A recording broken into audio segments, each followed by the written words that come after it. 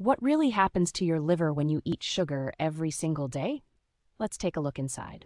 When you eat sugar, especially foods high in fructose like soda, candy, or even so called healthy fruit juices, your liver is the only organ that can break it down. Glucose is used by every cell in the body, but fructose? That's all on the liver.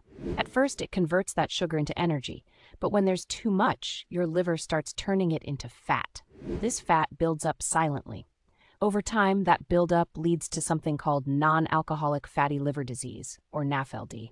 It sounds mild, but it's not. NAFLD can cause inflammation, scarring, and even liver failure if ignored. You might feel tired, bloated, or not feel anything at all until it's too late. And the amount of sugar it takes to cause damage? Just 25 to 50 grams of added fructose per day. That's one or two sugary drinks.